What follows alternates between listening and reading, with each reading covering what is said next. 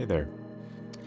We are closing up one more video after this, uh, Burnout Society. And this was a really beautiful chapter. Uh, it's called The Society of Tiredness. And we've talked a lot about like sad and uncomfortable things.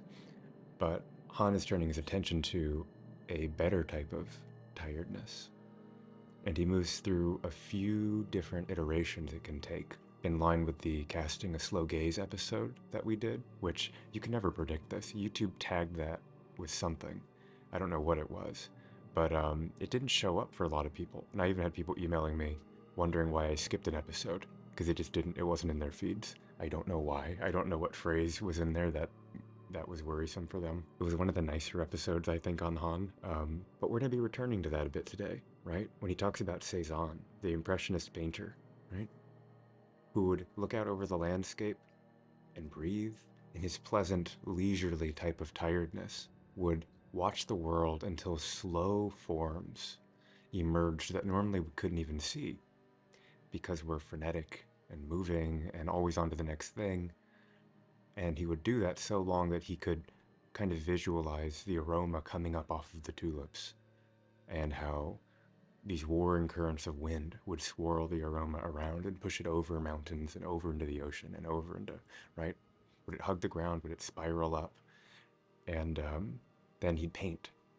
And in these impressionistic paintings, you'll see that movement of painters picking up on, on, on things that aren't always obvious to us, right?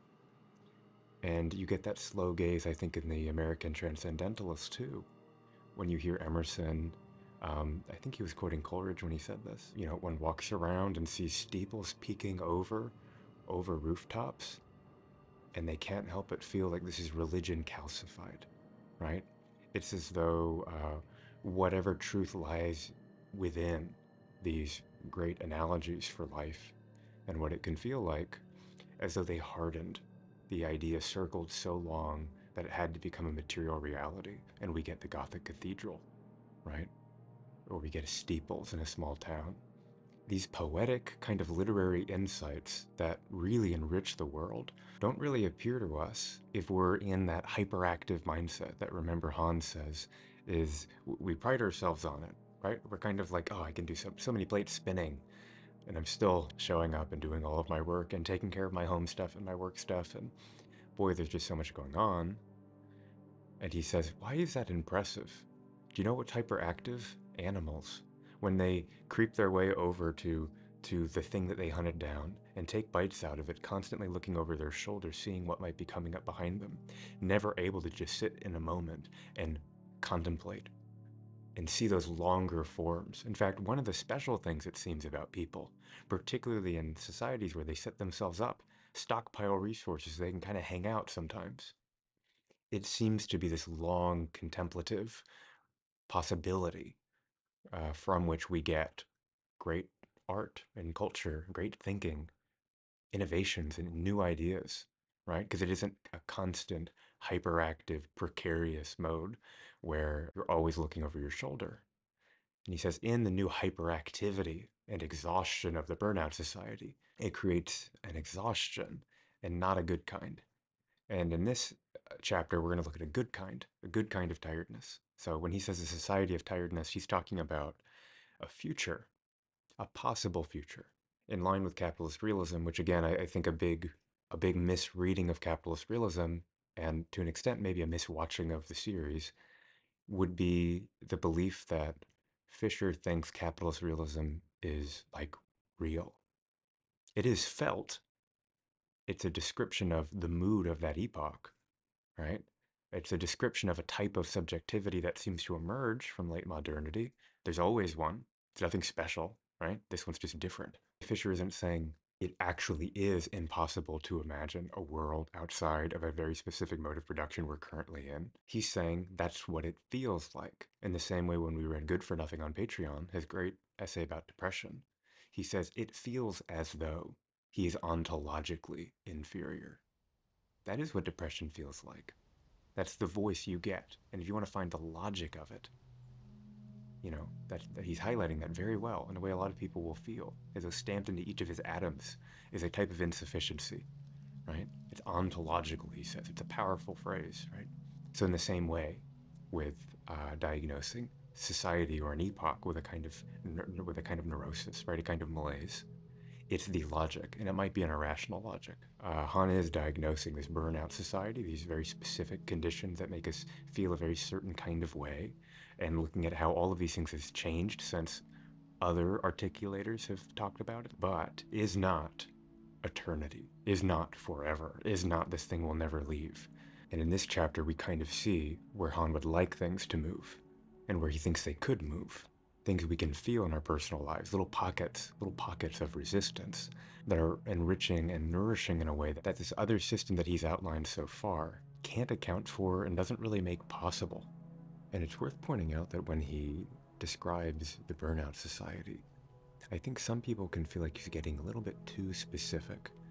And when you're too precious with your language and you tease things apart that carefully and are that definite with your claims, there's suspicion that arises. And one of the important things to make clear, both with Fisher and with Han, um, he isn't saying that all of us carry within us this perfect little micro burnout society or little micro capitalist realism, or rather it's in the air. It's kind of the mood we're in.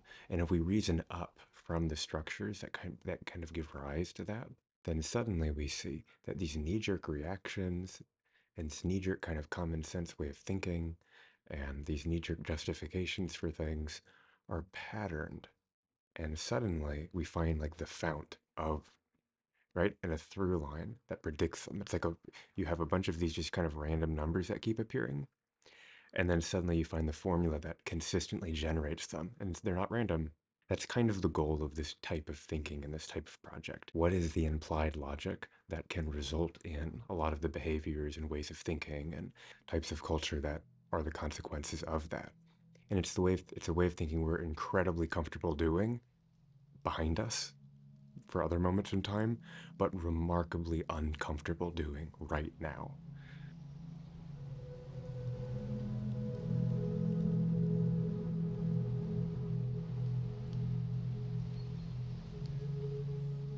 So far in the book, Han has been describing tiredness, but of a very specific kind, right? It's been uh, divisive and private. He calls it a solitary tiredness, right?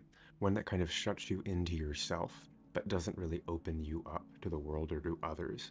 Uh, it's one that makes less articulable what you're going through. So it's solitary tiredness, as opposed to like, Han doesn't say this, but like a, a tiredness of solidarity where everybody kind of in unison understands. They hit that universalizing layer, or one of the essayists that Han is interested in in this chapter calls an eloquent seeing and reconciliatory tiredness to this speechlessness, sightlessness, and divisive tiredness.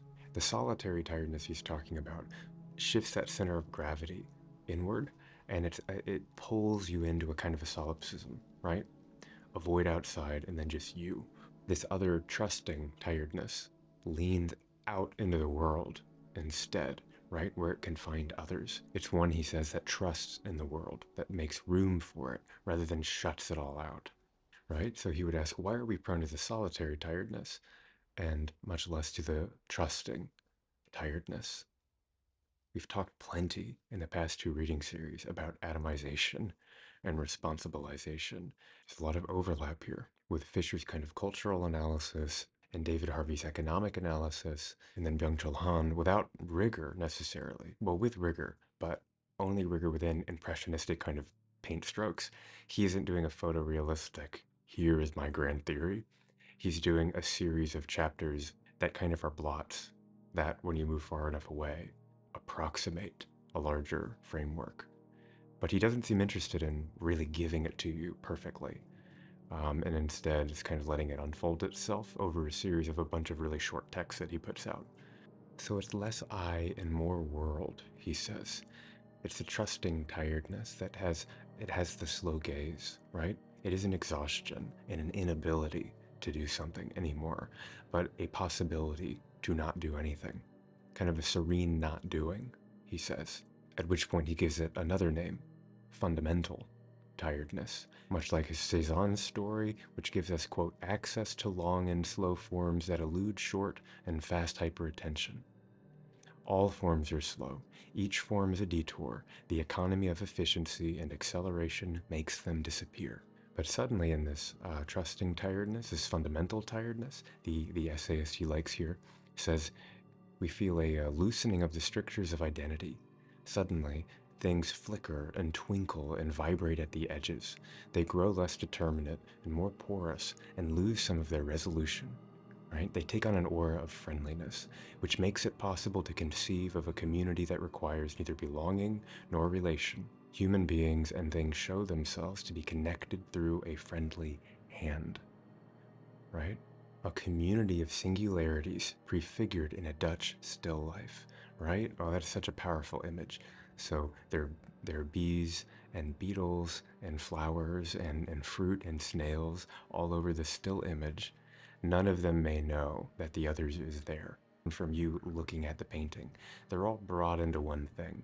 That's the the and, he says, right? At least at the end of my gaze, all of these things are brought in to a broader thing. And it, it would imply that I am too, for somebody else perceiving me.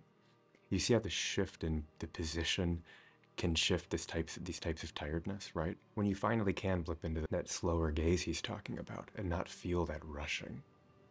Suddenly these things become clear. They just kind of emerge as slower patterns that weren't nearly as obvious before. And there's this subtle connectivity between all these things. And it becomes clear that if you can see that and have that moment of seeing that and, rather than that solitary tiredness that shuts out the entire world in a little bubble of solipsism, right? But the one that leans into the world, that trusts in it, that knows it cannot fall out of it, right? And suddenly we get a new name for it again, right? He calls it the we tiredness. He or the essayist he's quoting right? So rather than the I tiredness, right, the exhausted ego that is so exhausted as to shut out the world to protect itself. It, it's no longer a I am tired of this, right? It's no longer a I am tired of you. It becomes we're tired, right? I'm tired with you. We have in us a common tiredness. And, and, and suddenly, what could have been an isolating solipsistic tiredness, kind of a sour, bitter, solipsistic individual one, becomes almost rejuvenating, right? And and communal. It's a Sabbath. It's a moment of stopping, right? The seventh day is the one that's holy, the one where there is rest, the interruption, which you remember this is why he doesn't like a simmering anger and likes an idea of a momentary bit of rage, which shakes the familiarity and the inertia out of a situation and interrupts it. It puts up a break in it where otherwise there'd be just like a slow festering that doesn't really end. It just goes on and goes on and goes on. So suddenly, this tiredness of solidarity, trusting tiredness, fundamental tiredness, we tiredness, it opens up an interval at a time where a definite interval is hard to feel. We talked a lot in the Fisher series about the move from Fordism to post Fordism, where things actually end, clock in, clock out, done. But then if you have real post Fordist work, like me freelancing, right? Or maybe you do gig economy and work remote at a normal job and are like straddling all these worlds. There is something about not being able to clock in or clock out definitively that means you're just always in both worlds and there's never just a moment of pure rest.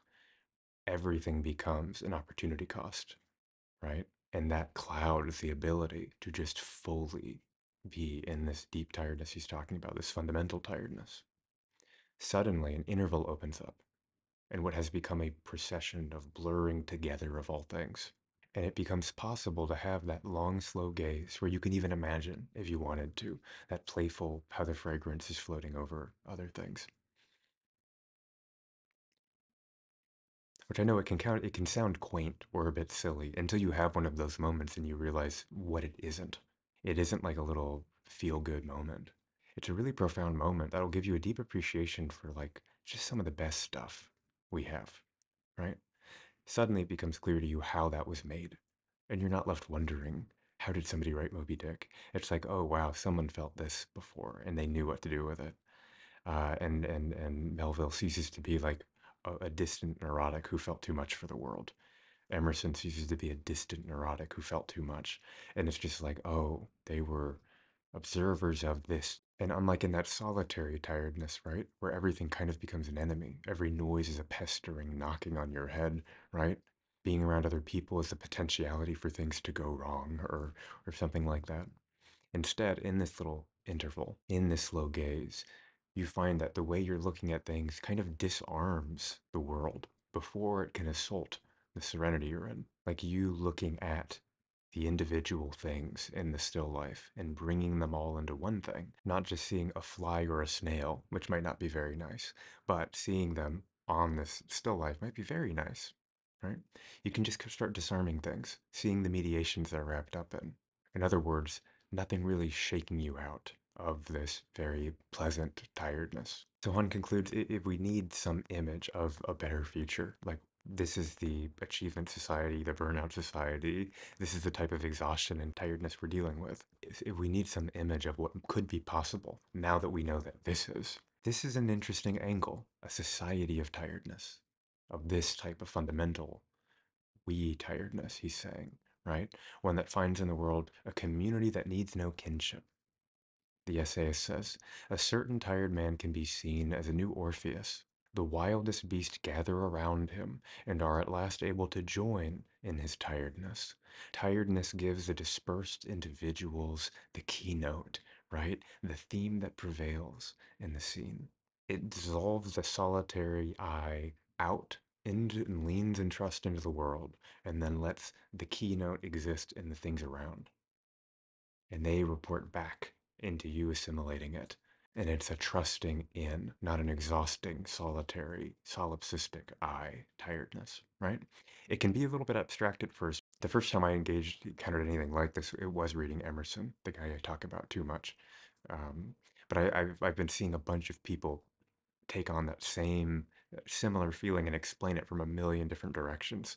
And this is yet another one, um, which is really interesting. So, okay, hopefully that wasn't too abstract hopefully some of that landed, and I don't doubt revisiting it will flesh more and more of it out.